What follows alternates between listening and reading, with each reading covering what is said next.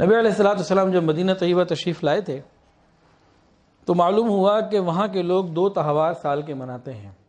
پوچھا، یہ کیا ہے؟ کہ یہ کھیل کود، میلہ ٹھیلا گانے بجانے، شراب، شباب، سب چلتا ہے اس میں۔ لہو لعب اس طرح کے ساری چیزیں چلتی ہیں۔ نبی علیہ السلام نے فرمایا کہ اس کے بدلے اللہ نے تمہیں دو بہترین دن عطا فرمایا کہ عید الفطر اور عید الاضحیٰ۔ اسلام میں دو عیدیں ہیں۔ اور حدیث کی اور فقہ کی تمام کتابوں میں ان دونوں عیدوں کی تمام تر تفصیلات الحمدللہ موجود ہیں۔ دو ہی عیدیں ہیں اور دو ہی کی تفصیلات ہیں۔ تو نبی علیہ السلاۃ والسلام نے سب طرح سے سمجھا دیا۔ اب ان ساری باتوں سے ہمیں کیا سمجھ میں آ رہا ہے؟ اگر ہم غیروں کے دن منانے لگ گئے اور غیروں سے تعلق نبھانے لگ گئے اور اس کے بدلے اللہ کا تعلق چھوٹ گیا یا نبی علیہ السلام کا تعلق چھوٹ گیا، ہمارے پلے کیا رہا بھائی۔ حضرت عمر فاروق رضی اللہ تعالیٰ نے باقاعدہ منع کیا کہ تم عیسائیوں کے مذہبی تہوار میں مت جایا کرو۔ باقاعدہ وہاں نافرمانیاں ہوتی ہیں، منع کیا۔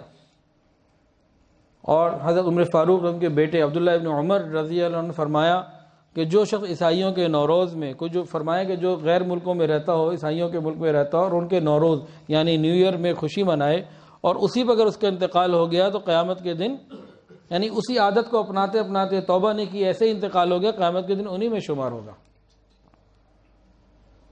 امام احمد بن حنبل رحمۃ اللہ علیہ سے پوچھا گیا، ایک شخص ہے، اس کی بیوی جو ہے وہ عیسائی ہے، اہل کتاب میں سے ہے اور وہ اب چرچ جانا چاہتی ہے تو شوہر اجازت دے یا نہ دے؟ فرمایا کہ منع کرے، کہ اللہ پاک نے منع کیا ہے، گناہ کے اندر تعاون کرنا منع ہے۔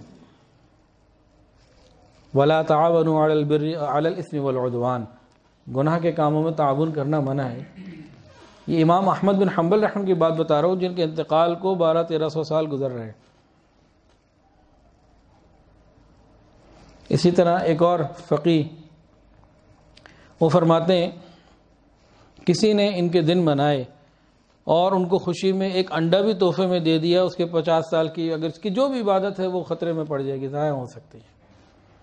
بہت صاف صاف تعلیمات ہیں۔ اب اس کا یہ مطلب بھی نہیں کہ ان سے ہم رابطہ ہی نہیں رکھ سکتے۔ بھائی، قلبی تعلق نہیں رکھ سکتے، ان کے مذہبی تہوار میں نہیں جا سکتے۔